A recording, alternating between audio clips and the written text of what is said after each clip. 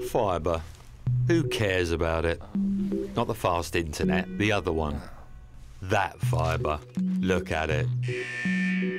Frankly, no one gives a hoot. It's just not something you talk about with your mates.